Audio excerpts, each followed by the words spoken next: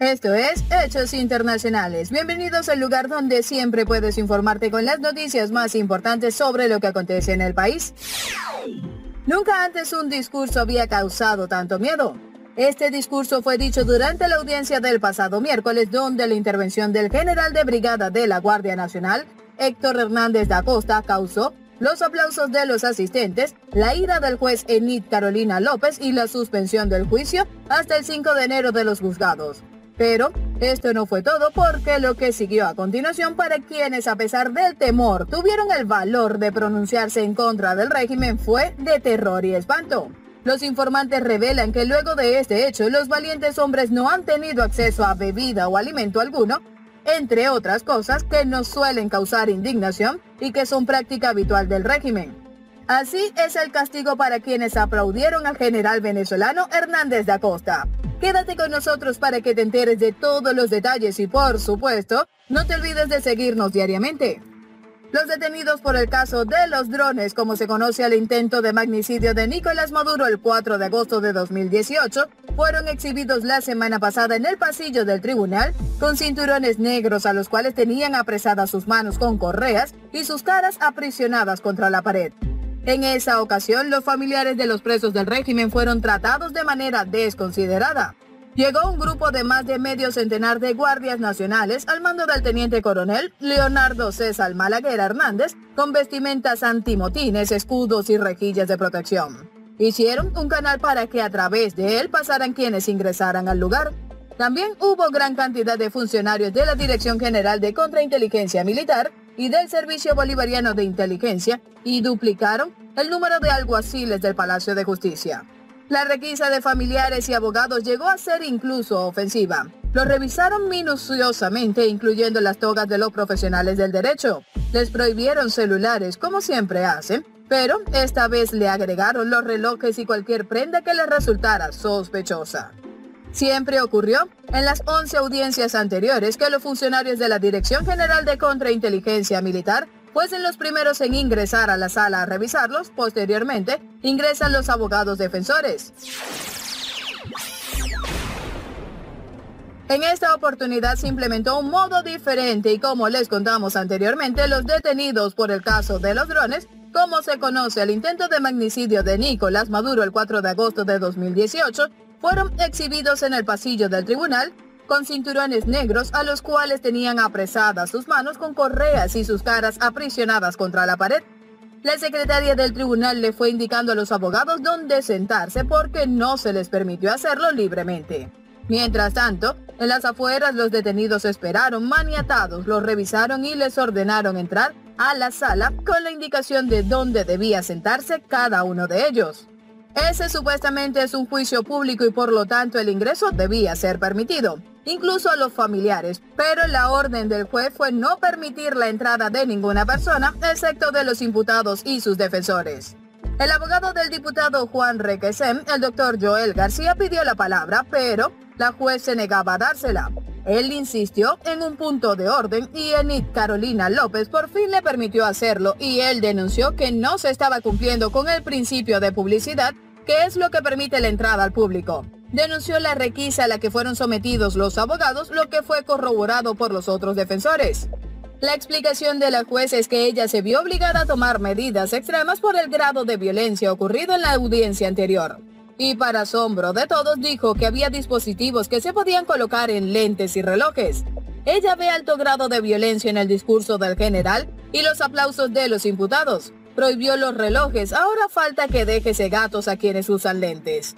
La mujer dijo que ella no permitiría el ingreso de los familiares. El Ministerio Público pidió que a la familia se le autorizara ingresar a la sala, pero la juez en tono altanero le respondió.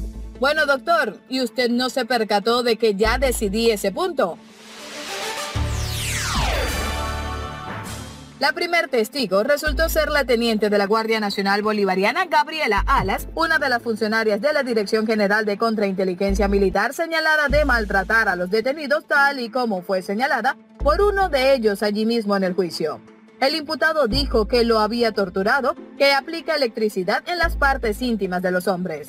La respuesta de la juez fue que los maltratos no son su competencia porque eso no es lo que se está dirimiendo en ese tribunal. La mujer ignora la responsabilidad que tiene de darle curso a las denuncias de maltratos.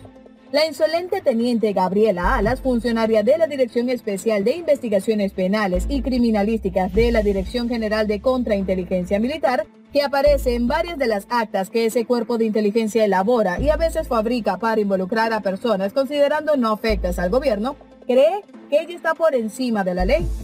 No sin cierto gesto de altanería dijo ante el tribunal que ella, como funcionaria de la Dirección General de Contrainteligencia Militar, tiene la potestad de intervenir cualquier teléfono para oír las llamadas. En un tono que a todas luces fue intimidatorio, dijo que podía vigilar los teléfonos de quienes se encontraban en la sala del tribunal y que para ello no necesita autorización de la juez. Se aseguró de dejar bien claro que su trabajo como funcionaria de la policía secreta le permite averiguar y hacer seguimiento a las personas que considere. Así es como ella justifica las actas sin soporte ni investigación alguna, plagada de rumores y de supuestos. Pido orden de aprehensión al fiscal y ordeno a mis funcionarios que detengan a la persona investigada. Cuando le preguntaron en qué momento recibía la orden de detención, la mujer dijo sin ruborizarse que la recibía por teléfono, es decir, está reconociendo que violenta la ley y que hace detenciones partiendo de un hecho ilegal. Además, la teniente Alas reconoció que ella interroga, como ha hecho con los detenidos, a sospechosos sin la presencia del fiscal del Ministerio Público ni del abogado defensor. Lo insólito es que la funcionaria de la Dirección General de Contrainteligencia Militar dijo en el tribunal que no podía darle respuesta a alguna de las interrogantes que le hacían los abogados defensores porque dice que firmó un contrato de confidencialidad en la Dirección General de Contrainteligencia Militar que le impide dar información acerca de lo que está investigando. Todos los que aplaudieron fueron castigados, incluyendo al alto oficial. La mayoría de los detenidos, menos los generales, el coronel Zambrano y el diputado Juan Requesem, dijeron en el tribunal que fueron golpeados como consecuencia del aplauso al general y los gritos de ¡Abajo la dictadura! ¡Viva la libertad! Las mujeres también fueron objeto de estas agresiones. Al general Hernández da Costa le han negado desde aquel discurso tener acceso a agua potable, tampoco le han dado alimentos poniendo su vida en peligro ya que el general tuvo tres operaciones en corto tiempo antes de ser detenido en el 2018, lo que amerita que reciba una dieta especial.